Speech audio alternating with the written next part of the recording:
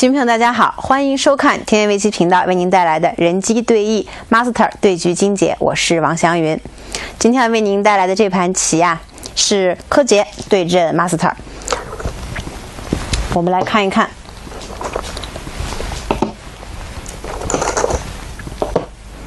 柯洁的黑棋，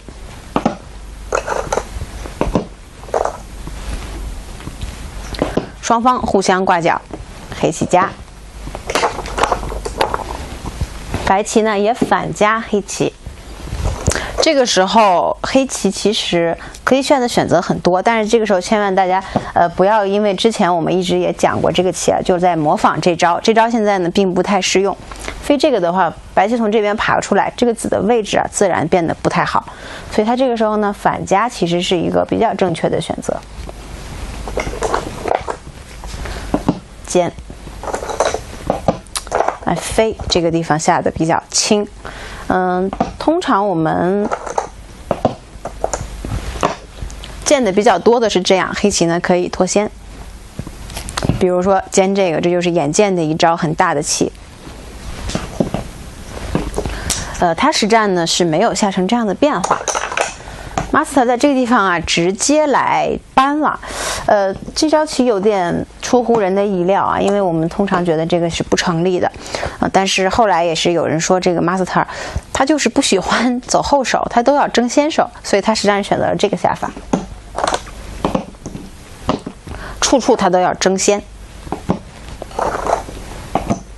但是局部而言呢，黑棋肯定没有不满啊。黑棋把白棋呃站角的这个子吃掉了，还是嗯从局部效果来说还是很好的啊。这个子在这儿，接下来白棋一碰，这个碰呢怎么去？形容呢，应该说也是棋里我们现在的一种延续。什么意思呢？就是这边已经非常的厚了。如果这儿没有子，那大家注意，这个碰一定不成立的啊！人家就是跟着长，你就亏多了。这不能随便碰。但这儿由于有已经有一个子了，它在这儿再长，已经走很厚了，很厚无所谓，就是让你越来越厚。厚的地方让你越来越厚，而我薄的地方呢，也可以加强。所以这是他碰这个的目的。你如果在这边搬啊等等一类的下法，他都会很高兴，他就跟着你走就行了，因为他总是在加强他自己。所以这个时候呢，呃，不应他，就像实战这个下法呢，其实是最正确的一种下法，就是不给你借劲儿。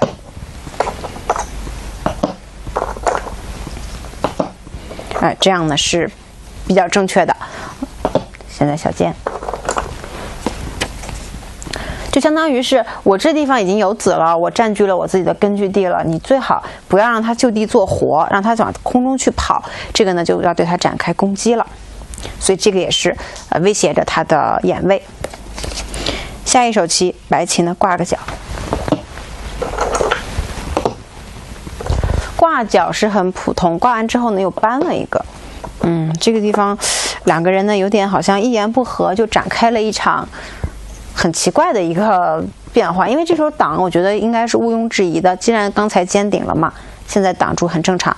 他没有，他去挂一下，所以这个柯洁也是想着不要按照这个 master 的思路去行棋，在这儿走了这招挂，master 呢也没有应他。这个地方两个人就，嗯，虽然说语言不通吧，但是就好像展开了对话一样。白棋就抢占这个了，那边就不硬了。那黑棋呢？哎，他也没在这儿继续下啊尖。其实上一盘就是在这盘棋之前呢，呃，柯洁已经跟 master 交手过一次了。我想他那一盘棋应该会有很多的，嗯，就是收获吧，经验呐，或者是经验教训等等。应该说，现在大家普遍的一个认知就是，跟他下呢最好要不要进入他所。就是现在的这个，我们都讲了，这个 AI 它有这个减脂的功能，以后它会把这个变化，过去我们说围棋的变化是多少多少，然后多少多少，这个，呃，一的后面好像是有七百九十多个零，这么多的变化，这个机器根本其实算不过来的，所以它有这个减脂功能呢，就是可以把一些变化不要的就都拆掉了。而柯洁现在要做的呢，就是让这些变化再丰富起来，再走多一些，啊，所以他走的也是不走寻常路。白棋呢，也就把这个棋逼住了，还是很大的。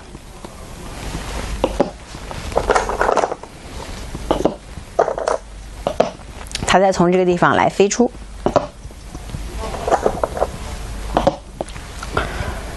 嗯，走成这样。白棋长一个，这个地方需要补一手棋。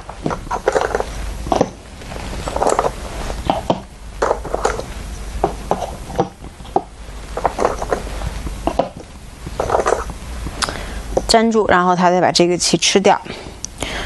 呃，所以现在看出来，这刚才这个补是很有必要的。这不补的话，这就出棋了。黑棋呢，把这个子冲断，呃，把自己呢走安定，碰，这都是常用的手段。端，其实看起来这个地方两个人走的都。呃，就是好像平淡无奇，没什么特别了不得的。但实际上这个地方呢，还是呃蕴含着很多内容的。比如现在黑棋走这个的时候，白棋呢在这个时机去刺，他为什么没在之前刺，要现在刺？其实他刺完，大家就可以可以知道，这两个子他就已经看清了，我已经交换到了。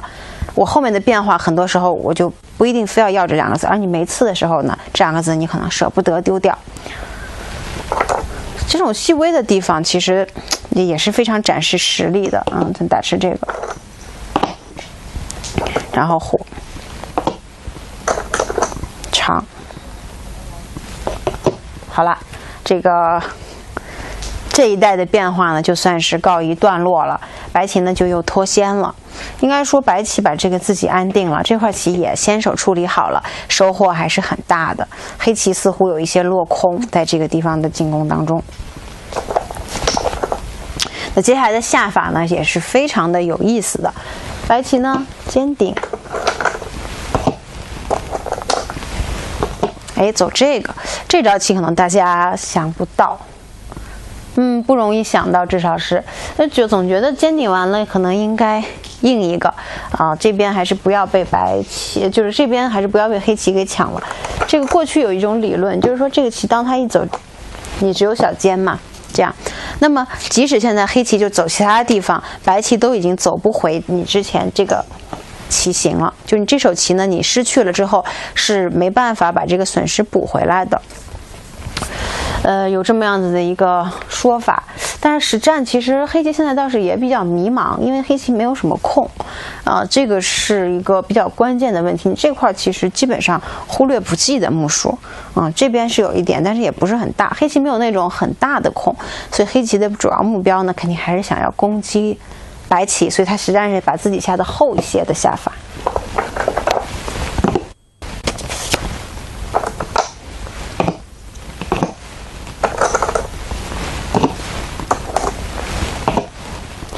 嗯，这个变化在，嗯，如果是空旷的局面下的时候啊，都认为是黑棋好，因为黑棋，就是我们看看把两边都收住了，肯定白棋只是缩在角里面，让黑棋满意。但现在情况不同，现在这个黑棋可能都没有闲工夫去这儿粘，因为这边都被限制了嘛，你粘住也没什么发展。黑棋要走，也是他实战这个下法。打入，想要在这一带能不能够啊，寄希望于进攻来获利。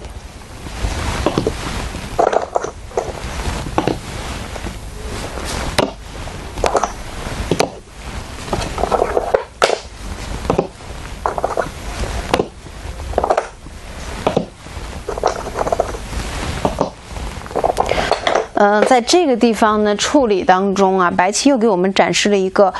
嗯，非同凡响的思路。这个地方，至少在我看来，嗯，人是很少能够下这样大的决心的。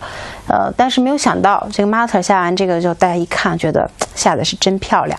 现在他走哪儿了呢？他靠了一个，靠一个，好像没有什么值值得我们说。多了不起的样子啊！人家顶，这很正常啊。但是呢，我觉得人是这样子，就是你下了的棋，有的时候你会就舍不得它死掉嘛。你总是会，比如说现在这个样子，你舍不得这块死吧，你可能还是会在上面借用，然后往外跑。这个是最最常见的一种思路。但是这个棋，当下成这样的时候，你以为它要弃子，其实根本就不是。我们看。当断的时候啊，都以为就是这棋它可能是要弃了，就弃把自己这块处理好，把上面的木数弃掉了。结果我们看。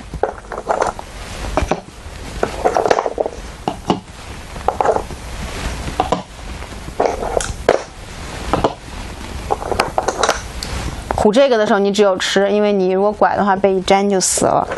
他居然也不是要打回去，这都不是他做活的目的，他做活就是要把这个弃掉。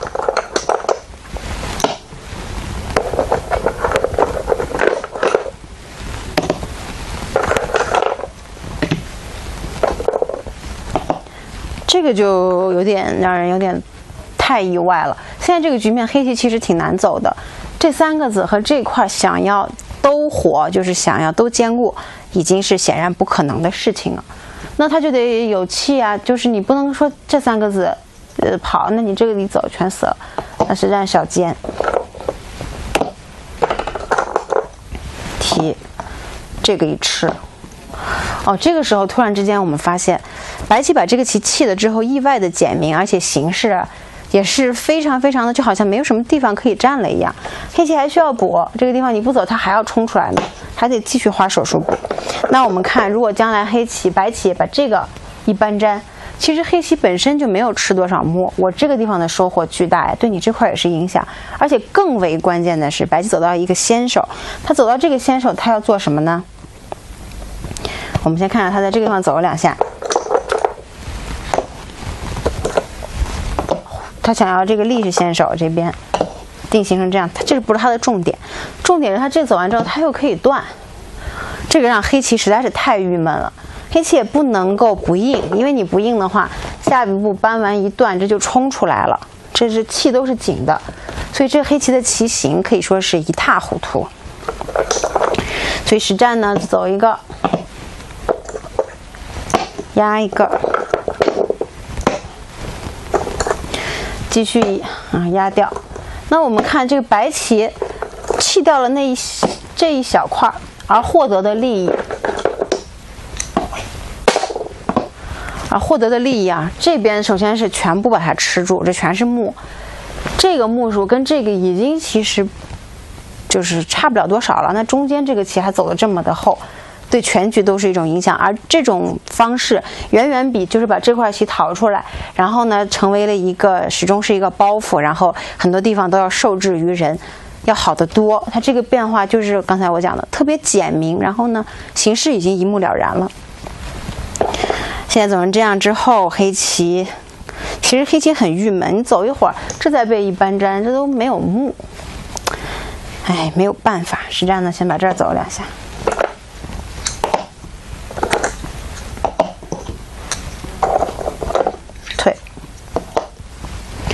下成这样子，这边定型成这样了。黑棋呢，回到这个力，白棋走的非常简明，就是你没有什么地方让他可以再犯错了。比如他这时候就飞，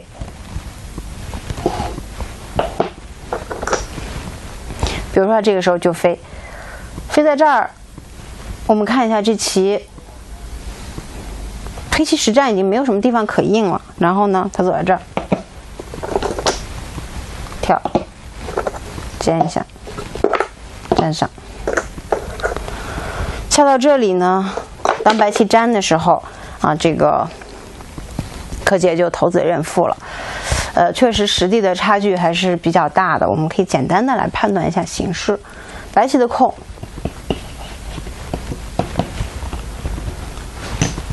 三十这边。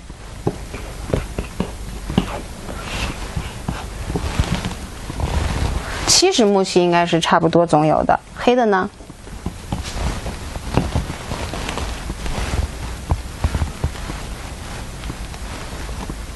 五十多加这边大概也就是六十多目的样子，呃，应该说他也看出来了，就是这种简单收官的局面，很显然呢已经不是这个呃人工智能的对手了，所以当次粘住的时候呢，这棋也就。没有再继续了，嗯，可以说啊，这两盘棋下下来呢，觉得 快棋当中，这个 master 确实下的特别的出色，尤其这盘棋的弃子，我觉得真的是让人为之震撼的这个选择，嗯。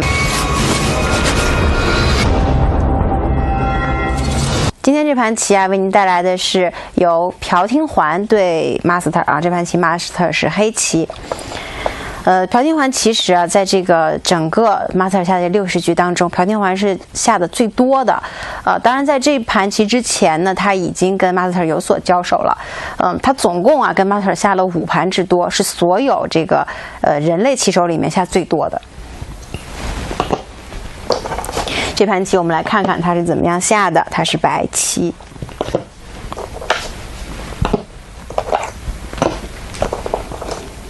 其实棋手们下棋起来都很简单，就是你有好的招法，我就向你学习。呃，虽然说大家都觉得这个人工智能出现了以后啊，对职业棋手的好像 把神秘感啊，以前的这些很多的东西呢都给破除掉了，但实际上对棋手来说，最执着的东西就是棋艺的。提高，所以他们觉得能够有机会跟马特尔下到棋，然后从中呢吸取一些哎自己觉得有收获的东西，就是特别特别宝贵的啊。其实棋手是不会去想什么特别复杂的东西的。形成了一个中国流，来看看马特的招。所以也是有棋手就开玩笑说啊，特别希望这个人工智能能够走进千家万户啊，成为民用的，这样大家每天就是这个多了一种训练手段。当然，可能这一天也不会太远了，啊，以后可能陆陆续续的各种的围棋 AI 都出来了，这人工智能已经非常普遍了。啊，目前走到这儿之后呢，黑棋没有，没有在这儿继续印，就这个。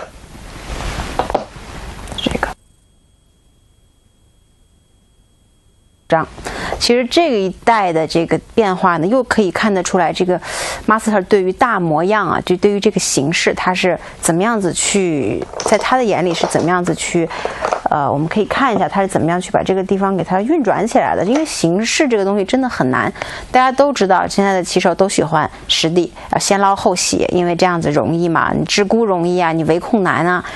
但是呢，master 出现，其实我觉得从某种意义上来说呢，是让大家在就是多了一些选择，尤其是对于大局观的东西，可能会思考的更多一些了。哦，现在像成这样了，黑棋呢把这个形势大家看啊，已经完全的张起来了。白棋没有去打入，白棋呢想要的是，哎，如果我一打入，那你肯定要把我封住嘛，我底下活，但是我活了，是不是失去了全局呢？所以这个思路也是对的。朴廷桓这个时候呢走在这儿，当然，如果这个时候爱好者朋友说我在这个地方三路一连，不是这里也连片了吗？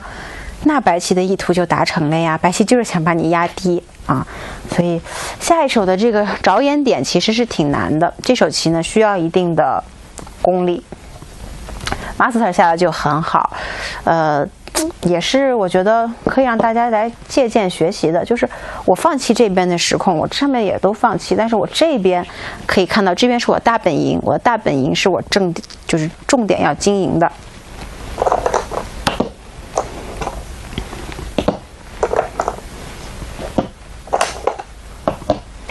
刺一下。呃，白棋虽然说起到了就是把这个地方打掉，但是我们发现黑棋其实形成了一个包围之势呢。白棋就是在里面活，那你在里面活，势必第一你肯定要受点委屈，第二你要把对方撞后，那你把对方都撞后了，他这个地方你自然就再想进去就难了。所以走到这儿啊，其实我觉得白棋的这个布局应该说不是很成功，已经有点中了对方的套路的感觉，就是。这样一下的话，其实这个局面他特别容易去掌握。呃，master 这个这招棋啊，还是下的这个空间感非常好，因为很多人都觉得马萨尔的大局观非常好。大局观到底什么？就是我们说通俗一点，到底什么是大局观？大局观其实有的很多时候，也就是他对于这种空间感非常好，他就总觉得你看不到的东西他能看到，你觉得那个地方的价值有限或者是没什么前途的地方啊，但是。大局观好的人，他就告诉你这个地方其实是特别重要的。然后下一下，果然这地方就是特别重要的，那你就知道哦，什么是大局观了。包括现在，现在这棋白棋就只好去做活，黑棋呢已经掌握了大局。这个到现在为止啊，看似呢黑白棋也是没什么办法，只好啊平平淡淡的做活，做眼嘛就是。但是他现在挖了一个，挖一个呢，其实也没有什么特别严重。比如说黑棋就从这儿吃，你粘上我就粘上，然后你活我也给你活，也是可以接受的啊。但是这个棋 master 下的太凶了，这个棋直接从这个地方断打，呃，属于是把你要连根啊，给你全部眼位也不给你，你进来就都是死，他就要杀你。这个下的。我相信在快棋当中啊，一般如果是人类棋手，应该没有这个魄力，也没有这个勇气。真的是需要勇气的。你走不好，这黑棋本来大好局面一下就没了，啊，崩了。这下到这里，我觉得看起来还是觉得黑棋好像很勉强的样子。那么这个地方呢，黑棋把白棋提掉这个子以后怎么样？其实白棋如果挡。白棋立这个局部就是一个打劫，但是白棋肯定不愿意打劫，因为，呃，走到这儿，黑棋首先可以直接开手，然后它不开呢，黑白棋也消不掉，这个呢有点不愉快，这个消不掉的话，所以它也可以在外面连走两个，比如说这种冲下来之类的，那白棋只是吃了这儿呢，觉得收获太有限，嗯，所以不考虑打劫，要么呢就是延气，可以把它杀掉，是吧？把黑棋杀掉，实战。嗯，棋逢断出生。但是这个棋，其实现在粗粗一看，我觉得黑棋非常难下。你打吃这种就是第一感能想到的棋都不行啊。我只要长，你这地方已经气不好收我了，那我就已经便宜了。我就把你这个，哎，这样子，我就把这挡下来就可以了。这拐一个，这也延气，这黑棋就要死了。但是这个时候呢，这个棋形丑不重要，重要的是管用啊，在最关键的时候管用啊。这个棋走这儿，这个 这招棋确实是棋形不好，你被一般的时候你得硬挡。但是问题就是，他要是没有棋，这棋也就出大事儿了。他都可以挡住，哎，这个。这个在尤其是快棋当中啊，给予对手的绝对都是致命打击，因为本来就算不清，时间又紧，而且关更关键的是，这是就相当于是，呃，我这个地方一旦失误，这棋局就结束了。尤其是白棋，这是完全是在刀尖上行走啊！看起来黑棋真的是很薄，这里还有个冲断。这长一个是先手，哎，但是长一个先手这儿有没有棋？我如果呃这边不行，我用这个长啊，这边能不能吃它？等等，这个计算量其实挺大的，嗯。但是这个，呃，我们说这个 master 他就都算清了，在这个短短的时间里面，所以这个电脑人脑怎么能跟电脑去比呢？在这个地方真的是为难这个。朴廷桓了，在短时间内真的是看不出特别特别好的下法，所以他实战也是选了一个，嗯，可以说不怎么乐观的变化。但是这个是有情可原的，毕竟时间太仓促了。这快棋如果是慢棋，我相信他一定可以走得比他这个好得多啊，选择一些更好的下法。实战呢，我们看长一个是第一感，打吃呢，这也都是第一感。我们可以想象一下啊，在读秒声的催促之下，只好先不停的走这种棋来延时。但是你走完之后，其实这棋也没有用，这不是争子，争不掉，你自身也没有气，所以他实战呢也没有办法，只能是去选择了一个弃子，跳加了一个。那等于其实这边现在就已经啊被黑棋牢牢控制了，你已经在他的这个肚子里面了，但是顾不上，你这边还不知道怎么办呢。现在先处理这边，但是这一个局部可以说白棋已经是吃亏吃的太多了，这里这是没有没有任何的代价，黑棋把你这个棋筋吃了，这边也已经支离破碎了。这边呢，你打吃一个算你先手，但是也没什么没什么大用，这块棋依然没有处理好。乱，啊，企图呢把这个棋呢给它搅混，把这个局面弄乱。那黑棋看得很清楚，长一个，这地方黑白棋什么都没有。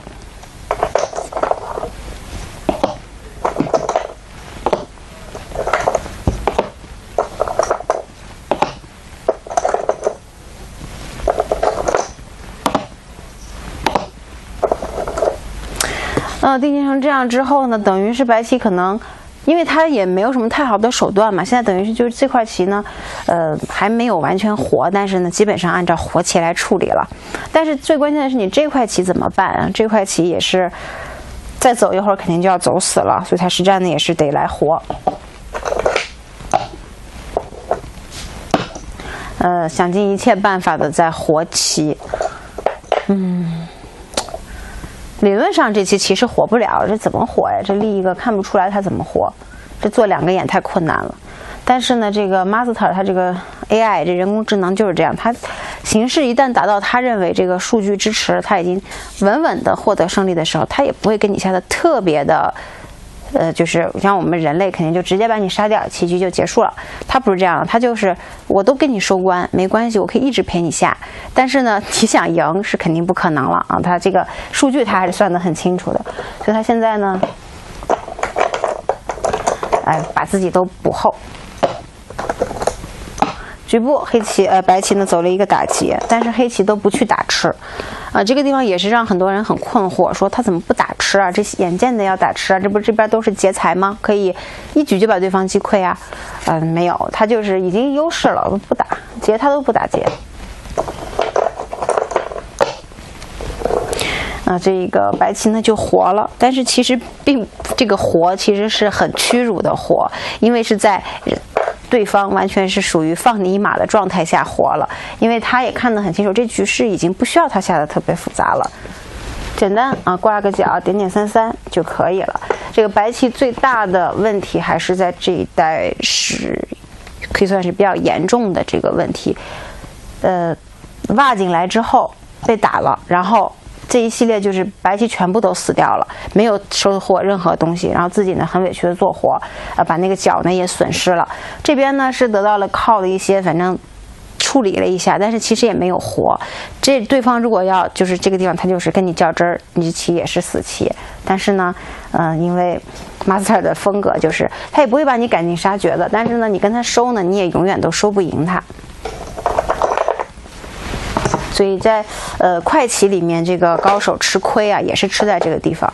突然来了一个你你一下子算来不及算的东西，可是他比你可算的快多了。他每手棋只要七秒钟，你刚走一步，你也许本来想利用二十秒钟哈，可以稍微思考一下，因为对方的时间也是自己的时间嘛。